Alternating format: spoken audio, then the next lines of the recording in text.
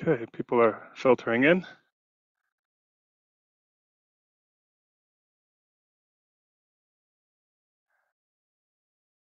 Give it about another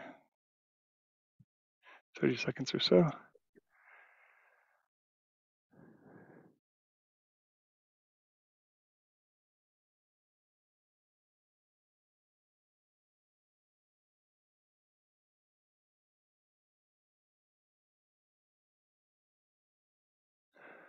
Okay, uh, hello everyone. Welcome to today's webinar on commercial heat pump RTU modeling. Uh, today's session is recorded. It will be available on the IBPSA USA YouTube channel. Um, if you have any issues hearing the presentation, uh, you can try calling in instead of using the computer audio. It is a Zoom webinar, so you will be muted and off camera during the session. Uh, you can post questions that you have in the Q&A, and I'll be answering those as we go along.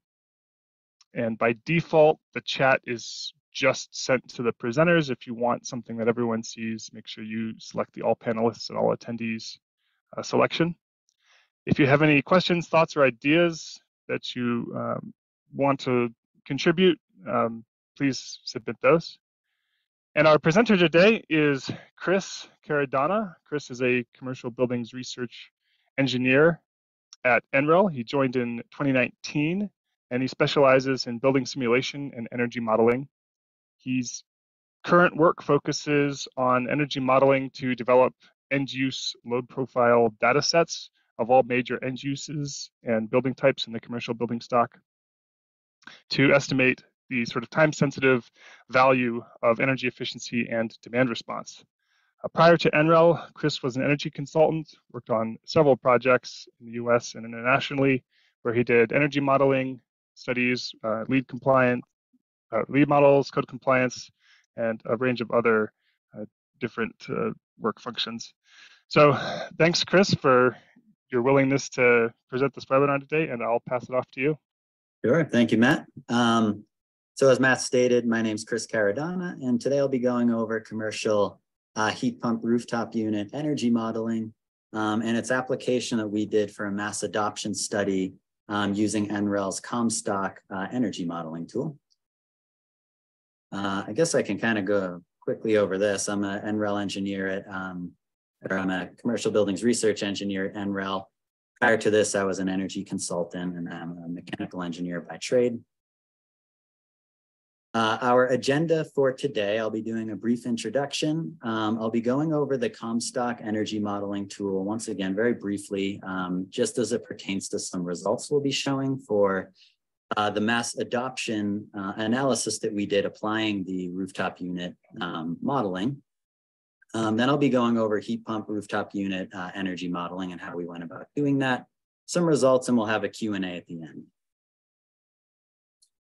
Uh, so first, about 25% or up to 30%, depending on what statistic you're looking at, of energy consumed in US commercial buildings is for space heating, specifically from on-site combustion of fossil fuels.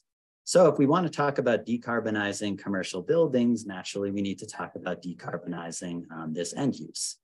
Uh, rooftop units are the most prominent HVAC system type in commercial buildings. Um, statistics vary on this estimate, but it's usually about 45 uh, to 55%, at least in the United States. Um, so naturally, this is a pretty impactful decarbonization pathway that we can um, take.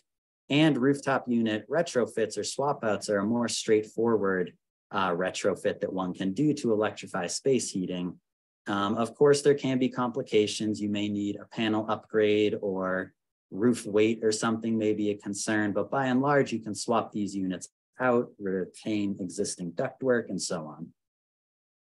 Um, I'm going to spare everyone the overview of uh, the physics of how a basic heat pump works. Um, if you want to see that, there's some great videos on YouTube that can probably do a better job than me. Um, but this brings us to our problem statement that a lack of credible uh, and relevant information can result in inaction. Most of our work is geared towards um, larger decision-making entities like cities, states, and utilities, uh, but this can also apply to individual building owners and so on. But uh, people have questions like, will transitioning to a heat pump RTU uh, reduce carbon emissions in my city or save energy or overload the grid? Um, and that's really what we're trying to get at with our energy modeling studies. Uh, so the ComStock tool, um, assuming everyone on here is pretty familiar with energy modeling, but a typical energy model represents uh, the operation of usually one building. When we talk about stock energy modeling, we're talking about the operation of a collection of buildings or a building stock. And a stock can range from being a city, a state, a country. Um, for this presentation, when I say the building stock, I'm talking about commercial buildings in the US or all commercial buildings in the US. Uh, the ComStock tool is a bottom-up energy model of the US. Um, we use 350,000 uh, representative open studio or energy plus energy models to represent um, the variety of building characteristics um, that we have in commercial buildings. Um, and these are informed by various data sources. So we have the Commercial Building Energy Consumption Survey, CoStar is a real estate database. Um, these data sources are used to inform our model inputs to get the right variety and properties in our models.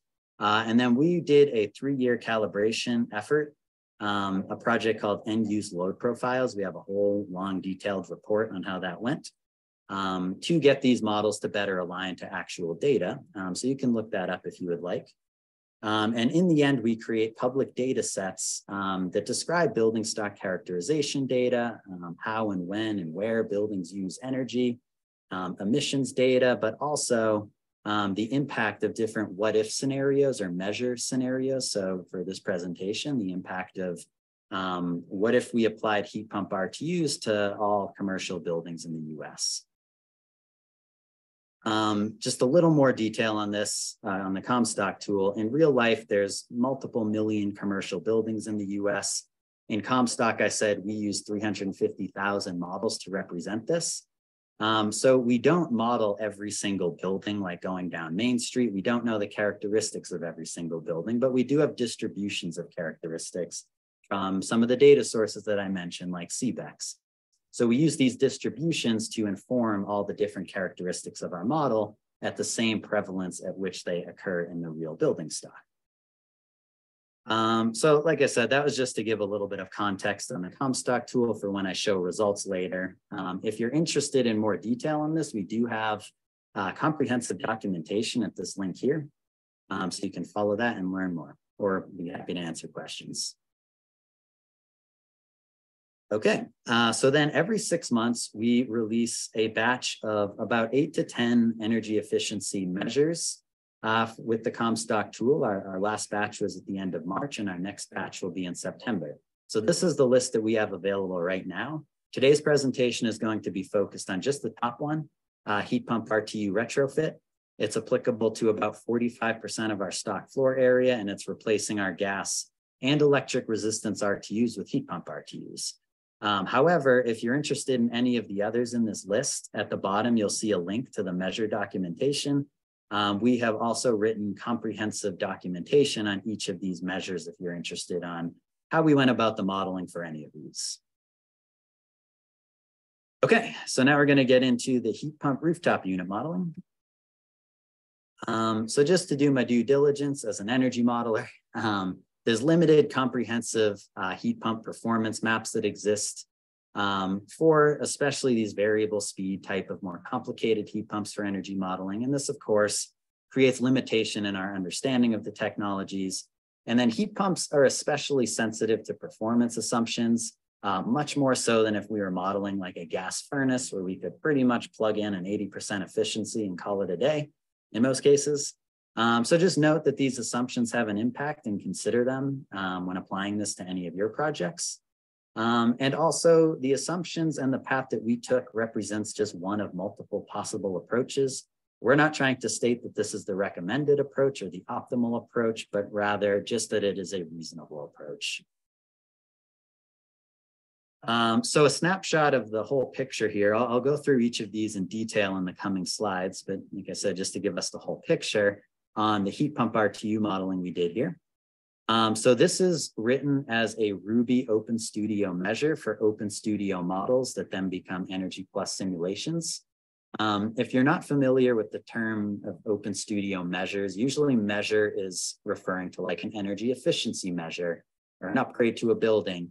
an open studio measure uh, is like that, but it's also an automated script that automates a change to our building energy models. Um, so what I have produced here is an open studio measure to automate this modeling in uh, building energy models. I meant to get this up on the building component library before this presentation, but I have not yet. I will have that up next week. Um, but the concept of the measure is to replace our gas and electric resistance RTUs with heat pump RTUs. Um, we're modeling these as pretty top of the line systems. So variable speed units, high efficiency. Um, I have greater than 17 IEER here. IEER is a cooling metric. Um, at the time of writing this, there was no equivalent like part load performance heat pump heating metric, although I believe that has changed and they are coming out with one if, if not already. Uh, but just note that we're trying to communicate that this is a high efficiency variable speed system. Um, as I mentioned, these are modeled with variable speed compressors. We model it as four stages and a variable speed fan. So this is a single zone VAV. Um, sizing, the compressor is sized to the design cooling load. This is a, a topic where there's a few options you can take that I'll talk about on the next slide, but this seems to be one of the most common options. So it's what I, I based our results on. Um, backup heating, we did electric resistance. Um, that's sized as needed. It could very well be uh, a gas a furnace coil too in the rooftop unit. People usually call those dual fuel systems, but uh, for this uh, measure, at least the results show electric resistance, although the measure does allow you to choose uh, if you want a gas backup instead. Um, compressor lockout, this term basically just means below this temperature, the heat pump does not operate. You get no heat pump heating. You only get the heating from your supplemental heat source, which as I mentioned is electric resistance. Um, I have gotten some questions on where this value came from before, zero degrees. This is the default for the Daikin Rebel in their uh, operation manual. Um, so the default program comes with zero degrees Fahrenheit. So that's what we chose here, although that value um, can be changed in the controller and it can make an impact on your peak demand and things like that, depending on what you use. Uh, but I'm just using the default, assuming that's what most people would do. Um, defrost, we use reverse cycle. That just means you run the heat pump basically in air conditioning mode. So the outside system gets hot and melts the ice, or I guess in a rooftop unit, the whole thing is outdoors, but I think you know what I mean. Um, and then our performance data source, uh, this is a mix of lab testing and manufacturing performance data that was used to make our performance curves. Um, this was done as part of previous um, efforts, not part of this project. So I can't really speak to the lab testing and such um, that went into this, uh, but I will illustrate the performance maps that we have. Okay, so first topic, sizing. As I mentioned before, the default that I have here is to size the heat pumps to cooling. Um, and then you have supplemental heating as needed to maintain a discharge air temperature.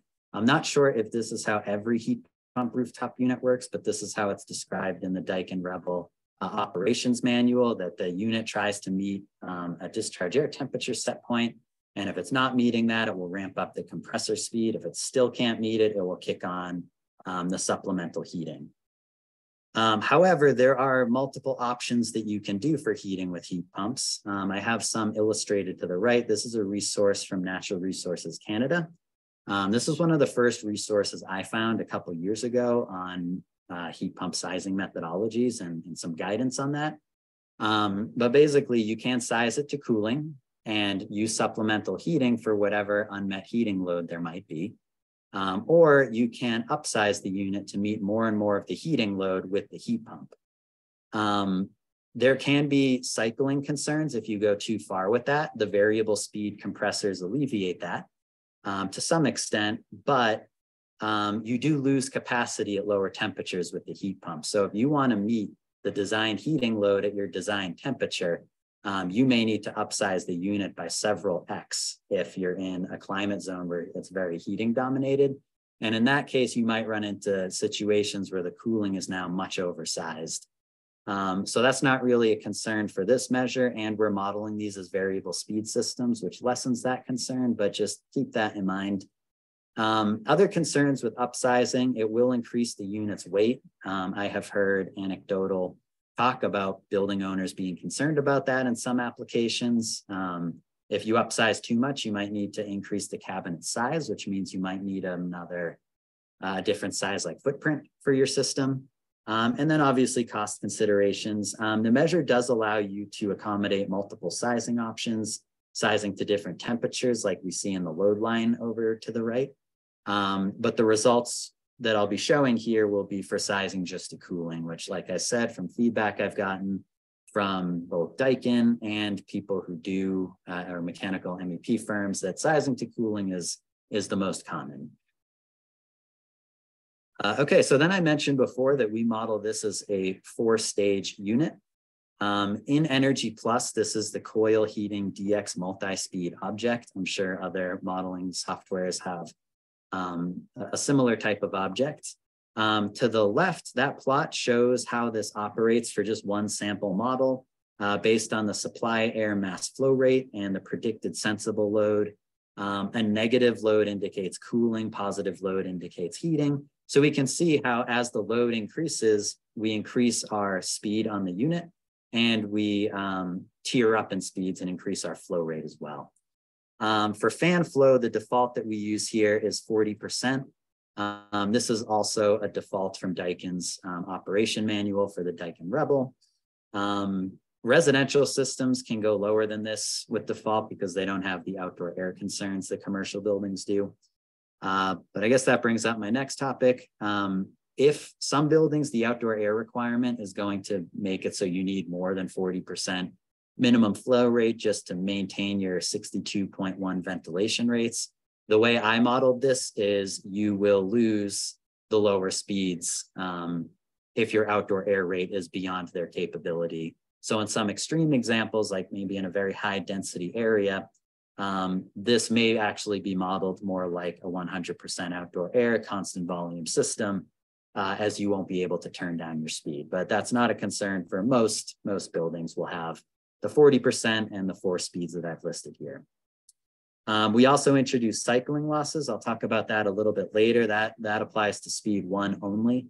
Um, since this is a variable speed unit, we don't want to apply the cycling losses uh, in between the other speeds that we're using just to represent variable speed.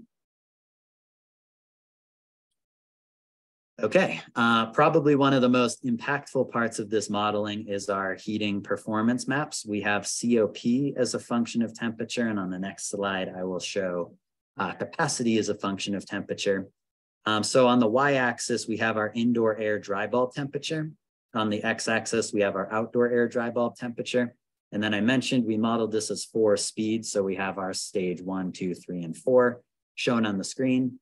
Um, I do have this similar performance maps or corresponding for cooling as well. I'm not showing them in this presentation, uh, but they are in that documentation that I mentioned before. The only difference is uh, the indoor air dry bulb temperature is indoor air wet bulb temperature for those maps. Um, but some key takeaways that we see from this, um, first, as we would expect, we see lower efficiencies at lower temperatures. Um, you can model these with only one variable. You can model them with only outdoor air dry bulb temperature. But as you can see from some of these maps, uh, you would lose some explained variance if you did that. Uh, we do have variation based on the indoor air temperature. That really just goes back to the basic principles of a heat engine with your indoor and outdoor temperatures kind of driving your COP. Um, some other uh, call outs that I have here. Um, we see generally higher efficiencies at some of the lower compressor speeds. Um, and this is really because when you go to a lower compressor speed with a variable speed system, uh, you now have a bigger heat exchange surface for the amount of uh, load that you're meeting. So kind of similar to how you can increase your um, residential home um, air conditioning like SEER if you get a bigger coil. Um, same kind of concept when you go down in the compressor speed and are addressing lower loads, you now have a bigger heat exchanger. Um, so that is reflected here that we see higher efficiencies at some of these lower part load conditions. Okay, similar layout, but now we're looking at capacity reduction as a function of temperature. Um, so you could read these as just reduction factors. Like if you see 0.8, that means your rated capacity, which happens at 47 degrees, uh, at whatever temperature you're looking at would be times 0.8 or 0.6. Um, so this is showing capacity reductions here. uh, in a way. Um, so as we would expect, we see our lower capacity, uh, lower available heat pump capacities at our lower outdoor air temperatures. We see less impact with indoor air dry bulb temperature in this case, so still some, but you could probably get away with just doing outdoor air dry bulb because um, there isn't that much variation in that direction. Okay, cycling losses. Um, so this is representing lost efficiency when the compressor turns on and off a bunch. Um, so we introduce up to 25% efficiency loss based on the part load ratio. If you're not familiar with part load ratio, um, Energy Plus and other energy modeling softwares, they have a time step. And if the load is less, if the average load during that time step is less than the compressor, um, the rated compressor speed, um, we apply a part load uh, ratio to that um, for the portion of the uh, time step.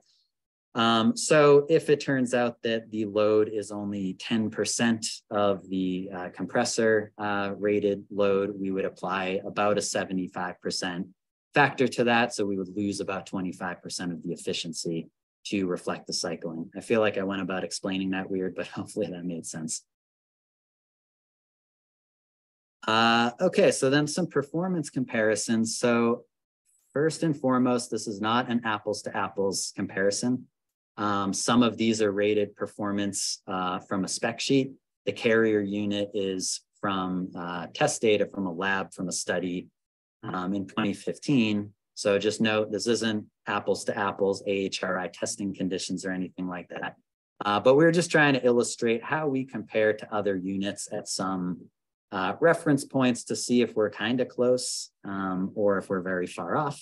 So we have COP retention here and capacity retention, both as a function of outdoor air temperature.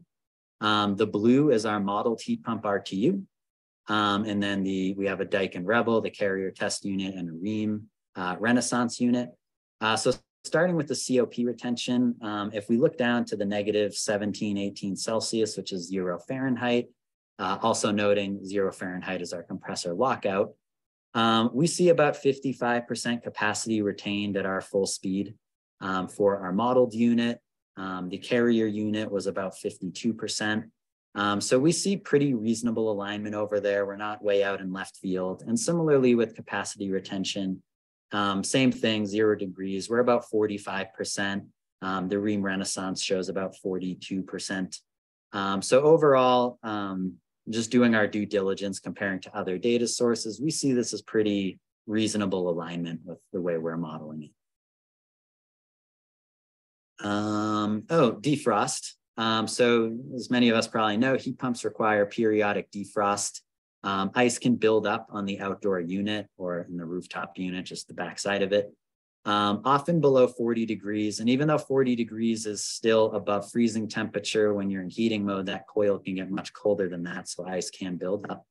Um, there's a few methods to do defrost. Um, the first is reverse cycle. This is what I have seen is most common, at least in rooftop units, uh, where you just run the refrigeration cycle backwards to heat up the unit periodically.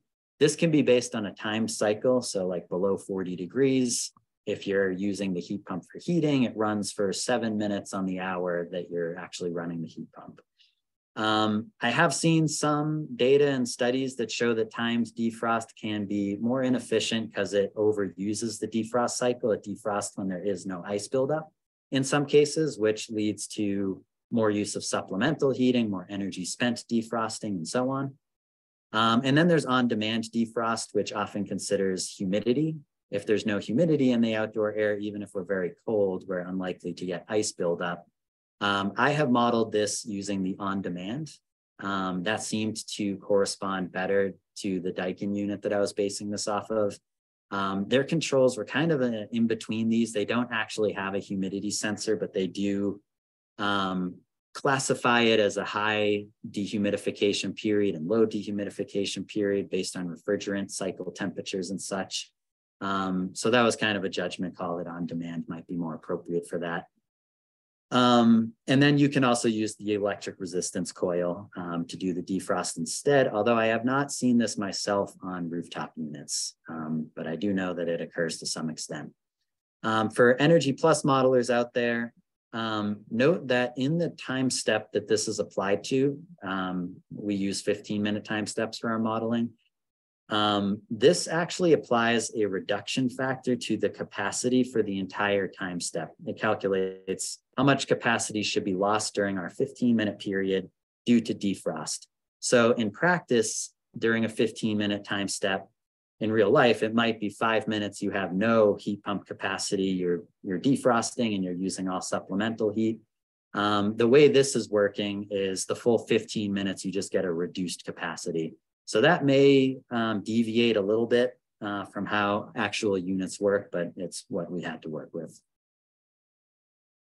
Um, a few concerns and limitations. Um, this is specifically going to be for the Energy Plus side of things if you're using that tool.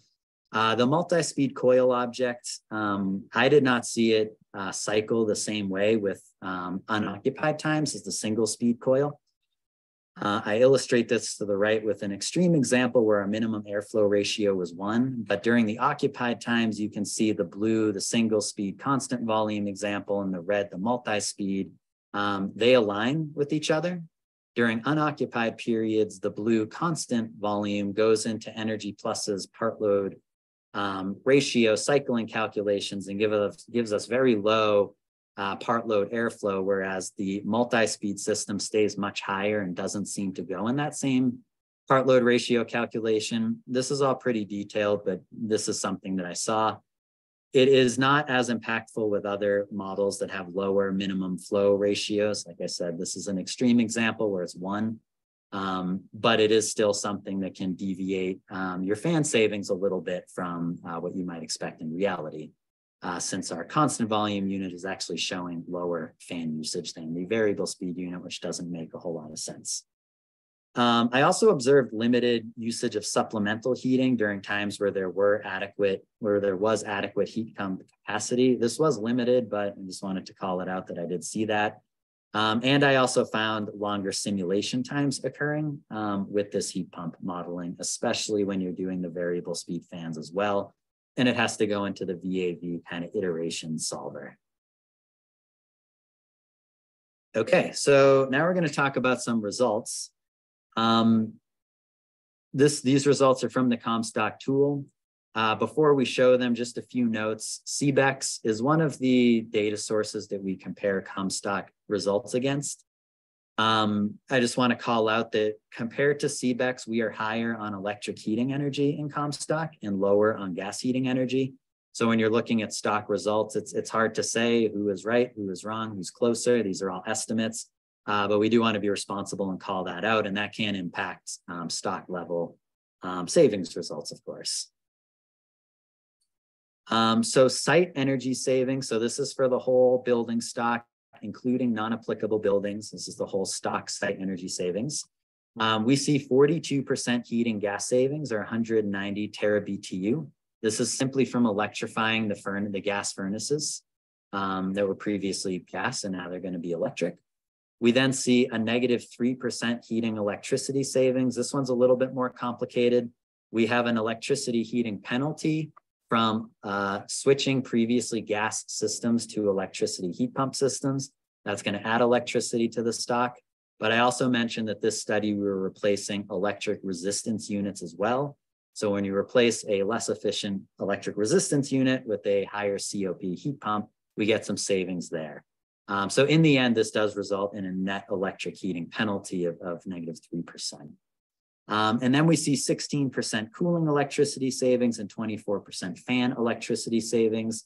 Uh, this is simply from using a high efficiency variable speed unit um, with variable speed fans. These savings uh, could be attributed to a non-heat pump RTU that is high performance. I like to call that out. Um, so like the Daikin Rebel does come in just like a gas furnace version, you would probably see similar cooling and fan electricity savings with that.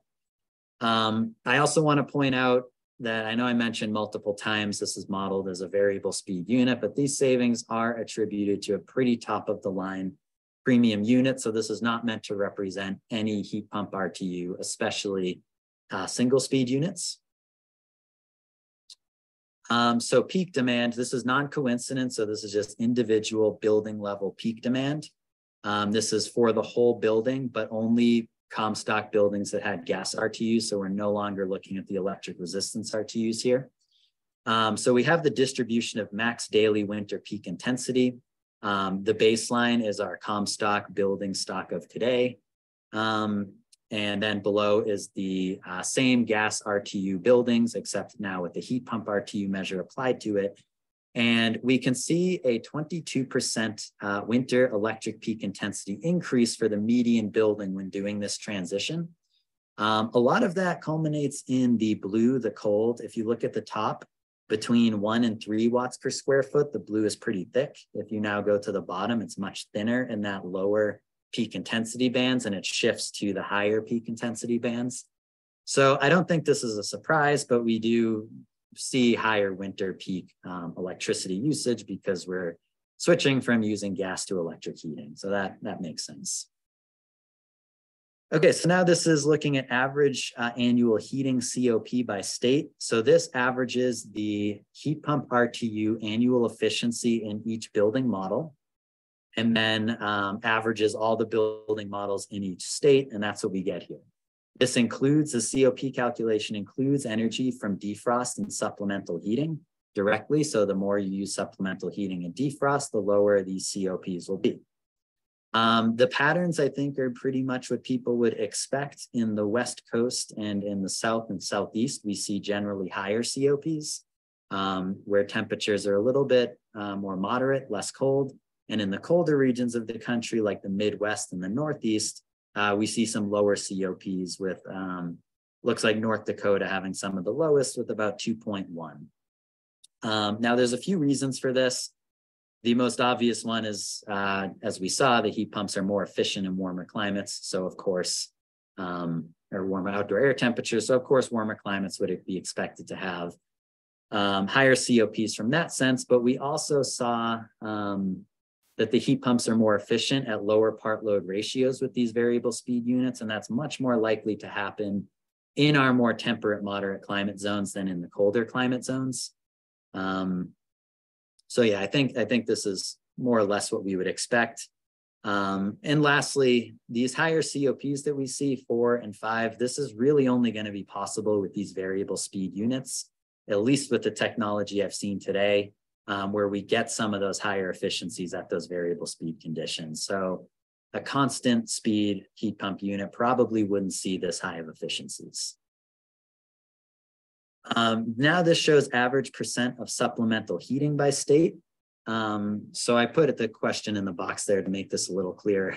Uh, what percentage of heat pump heating electricity is coming from supplemental heat? So when we talk about electricity that is powering a heat pump system, we have some going towards the actual compressor heat pump. Some of that is going to be used to defrost that heat pump sometimes, and some is going to be going towards an electric supplemental coil. Um, so we see a, a wide range here, um, ranging from I think 6% at the lowest all the way up to 56%. Um, and pretty much once again, as we would expect, the warmer climate zones have very little supplemental heat usage. There may still be some from defrost and some colder areas for small amounts of time, but for the most part, our supplemental heat kicks on in the colder climates, as like I said, we would expect. Um, I'm not going to talk about this too much. This just summarizes the data sets that we release with the ComStock tool that has all of this measure and baseline data. Um, I think Matt has dropped the slide deck in the chat. Uh, if not, you can see the links down there at the bottom of how you could access this data if you want to. Um, the building models are also available. So there's hundreds of thousands of OpenStudio energy models or millions if you include all of our upgrades um, that you can pull from if you want those, um, but also all of the results, time series results. We have a data viewer. We have an S3 database that you can query. Um, I have a webinar that I linked to the bottom introducing how to access this data. You can also email us um, at the one of these email addresses here, but that is my presentation and I'll be happy to answer questions.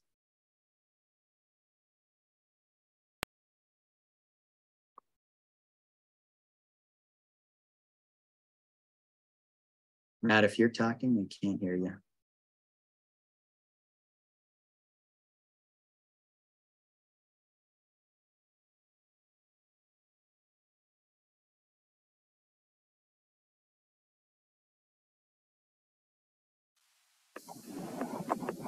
Still working?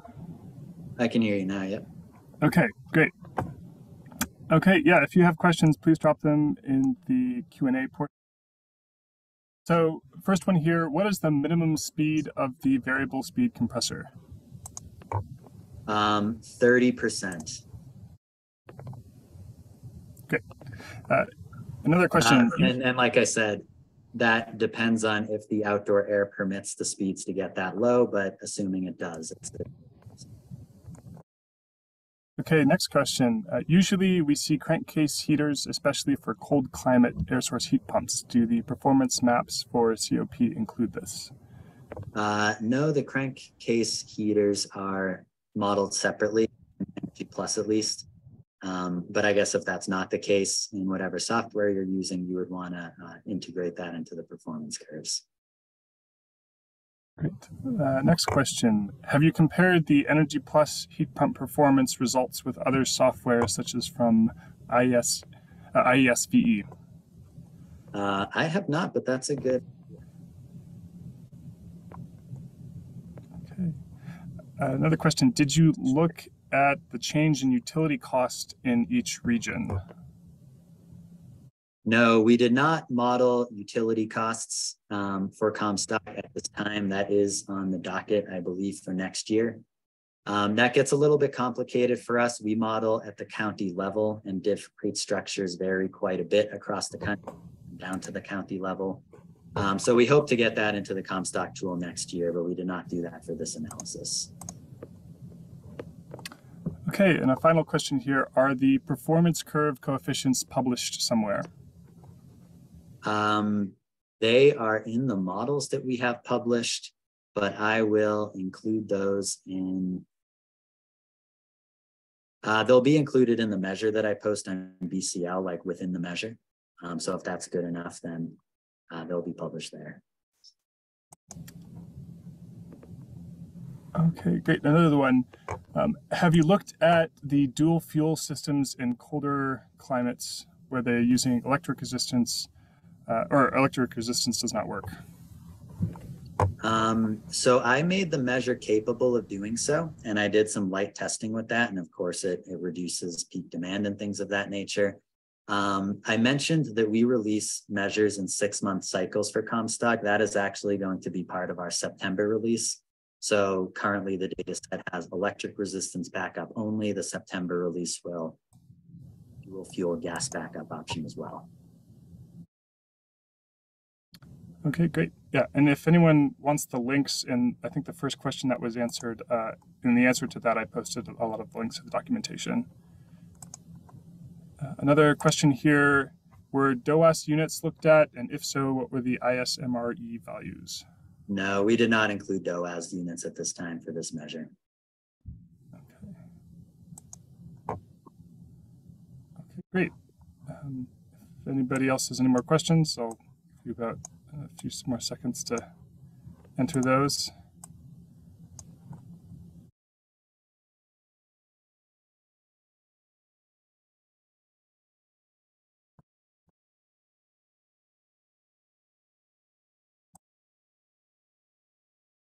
Okay, um, yeah, I don't see any more questions. So if you do, uh, and you're curious of modeling these things, you can email uh, Chris. Uh, email is on the screen. Oh, wait, we just had some more pop up. One second. Sure. Uh, when is this measure going to be released on BCL? Uh, next week. Next week. Okay. Great. Yeah, sorry about that. I meant to have it up for today, but I needed to get this presentation done first. And is there more validation beyond comparison to lab results? Um, we hope so in the future. I liked the idea of comparing to what other energy tools um, are showing in the curves that they use there. I know that we potentially have projects to do um, more lab testing data on heat pump RTU specifically at NREL. Um, so I, I, hope that works out and we have more data there to compare to. But if you have other studies that you think gives a good snapshot of something to compare to, um, I'd, I'd be happy to review that as well. You can send that to us.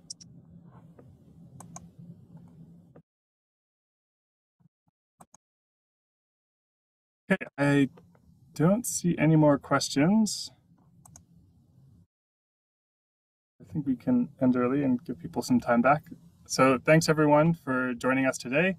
Uh, this recording will be posted on the YouTube channel. So if you want to subscribe to that YouTube channel, uh, you can access to this video and the links will also be in that uh, in the YouTube video.